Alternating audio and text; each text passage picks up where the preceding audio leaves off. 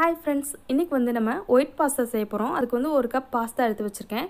இந்த பாஸ்தா வந்து நம்ம சீஸ்லாம் எதுவுமே சேர்க்காம நம்ம வீட்டில் இருக்க இன்க்ரீடியன்ஸ் வச்சு ரொம்ப சிம்பிளாக செய்ய போகிறோம் இது வந்து ரொம்பவே நல்லாயிருக்கும் டேஸ்ட்டும் இதுக்கு வந்து ஒரு பாத்திரத்தில் நம்ம எடுத்து வச்சுருக்க பாஸ்தாவை வந்து சேர்த்துக்கலாம்.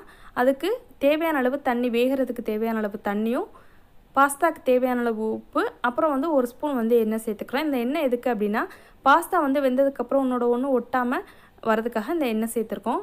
இங்கே வந்து ஒரு பாத்திரத்தில் கொஞ்சமாக வந்து பட்டர் சேர்த்துருக்கேன். இதில் வந்து கேரட் சேர்த்துக்கிறேன். இதில் உங்களுக்கு வேணும்னா இன்னும் ரெண்டு காய்கறிகள் ஏதாவது குடமிளகா பீன்ஸ் அந்த மாதிரி ஏதாவது காய் கூட சேர்த்துக்கலாம். நான் இன்றைக்கி கேரட் மட்டும் தான் சேர்த்துருக்கேன். இதில் கொஞ்சமாக உப்பு சேர்த்துக்கலாம். கேரட்டுக்கு தேவையான அளவு.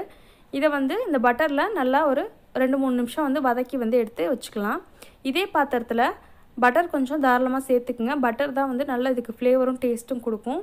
அதில் வந்து ஒரு ஒரு ஸ்பூன் அளவுக்கு மைதா மாவு வந்து சேர்த்துக்கலாம். மைதாக்கு பதிலாக கோதுமை மாவு கூட சேர்த்து செய்யலாம். அது வந்து லைட்டாக வந்து கலர் டிஃப்ரெண்ட் தெரியும் அதுக்காக தான். இது வந்து நல்லா ஒயிட் கலரில் வரும். அதுக்காக நம்ம மைதா மாவு சேர்த்துருக்கோம். இதை பட்டரில் வந்து நல்லா மிக்ஸ் பண்ணிவிட்டு இதில் வந்து பால் சேர்த்துக்க போகிறோம் பால் வந்து காய்ச்சின பாலும் சேர்த்துக்கலாம். நல்லா காய்ச்சாத பாலும் சேர்த்துக்கலாம். சேர்த்துட்டு இதை வந்து கட்டி இல்லாமல் நல்லா கலந்து விட போகிறோம் அந்த மைதா வந்து பாலோட நல்லா மிக்ஸ் பண்ண போகிறோம் தேவையான அளவு பால் வந்து நிறையா சேர்த்துக்குங்க. உங்களுக்கு ரொம்ப சாஸாக ஒயிட் சாஸ் வந்து எக்ஸ்ட்ரா வேணும் அப்படின்னு நினச்சிங்களா பால் வந்து தாராளமாக சேர்த்துக்குங்க. சேர்த்துட்டு இந்த மாதிரி நல்லா கட்டிலாம் கலந்துட்டோம்னா நம்மளோட ஒயிட் சாஸ் ரெடி ஆயிரும். இந்த ஸ்டேஜில் நீங்கள் சீஸ் கூட சேர்த்துக்கலாம். நம்ம ஆனால் இன்றைக்கி இன்றைக்கி சீஸ் எதுவும் சேர்க்கலை. நம்ம வேக வச்சுருக்க பாஸ்தா சேர்த்துக்கலாம். இந்த பாஸ்தா பார்த்திங்கன்னா ஒன்றோட ஒன்று ஒட்டவே இல்லை. ரொம்ப நீட்டாக அழகாக வெந்திருக்கு. இது கூட நம்ம காய் வந்து வதக்கி வச்சுருந்தோம் பார்த்திங்களா கேரட் அதை வந்து சேர்த்துக்கலாம்.